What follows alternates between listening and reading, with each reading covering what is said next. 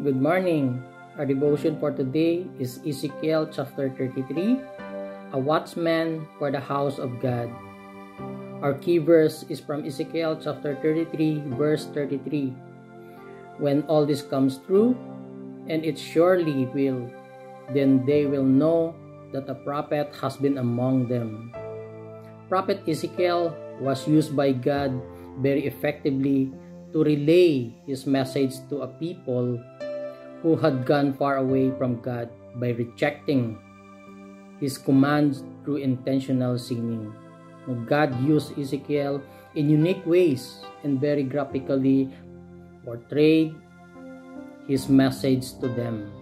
In verse 7, God has appointed Ezekiel as a watchman over the house of Israel. God has called Ezekiel to be like a night, a night watchman, one who faithfully warns when danger is approaching. As long as a watchman is faithful and clear in his warning, he is not held responsible for how people respond to his alarm. But if he sees coming danger and does not sound the alarm, he is held responsible. In the case of Ezekiel, punishment would come directly from God if he failed to report to the people the message God gave him. Makikita po natin yun sa verse 8, no? While commissioning Ezekiel from the solemn duty of watchman, God directs him to listen from his mouth and then give the people warning from God, while the watchman, in the ordinary sense, is expected sees with his physically eyes and warn people according to what he understands. The watchmen in the God's kingdom are required to see with their spiritual eyes and understand what God is speaking to his people in the body of Christ. Ezekiel was to warn people, even though they were a rebellious house, and whether they listened or not. In verse 9, no, a God's heart was inclined to say to save them. So God wanted the prophet to warn them and correct them from their ungodly ways because God loved them intensely. God loves his people and he does not want them to perish but, but to repent and live eternally.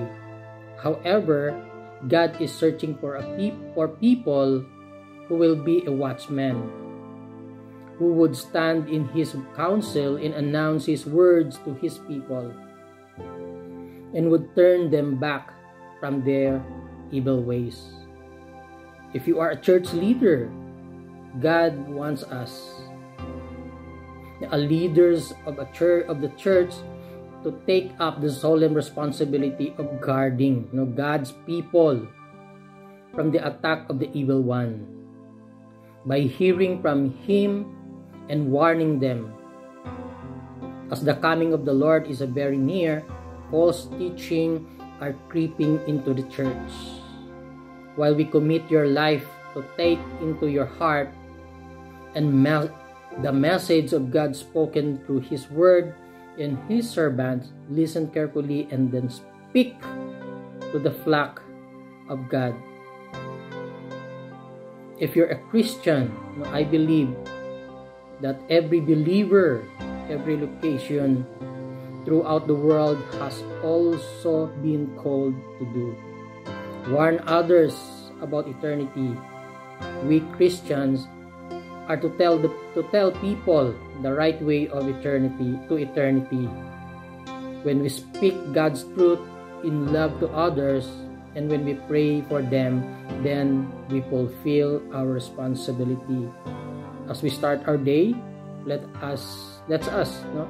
God let's ask God to help us to fulfill our part in sharing the gospel and ask him to lead us to an opportunity to do that.